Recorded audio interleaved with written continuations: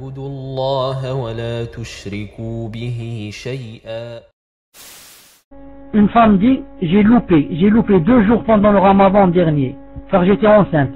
Je voudrais savoir exactement comment il faut que je paye, et quantité, etc. barakallahu fikum. J'ai dit que quand une femme est enceinte, qu'elle a peur pour son bébé ou pour elle, qu'elle mange, elle fait manger un pauvre. Comment la quantité, etc. Il n'y a pas. Comme elle mange, elle, du moyen qu'elle mange, elle fait manger quelqu'un. Elle, se dit, moi, qu'est-ce que je mange d'habitude? Le moyen. Elle calcule, elle dit, je mange d'habitude, par exemple, 2 euros, 3 euros. Ça veut dire que, avec ces 3 euros, elle va acheter à manger à quelqu'un, elle va lui donner. Elle va lui donner.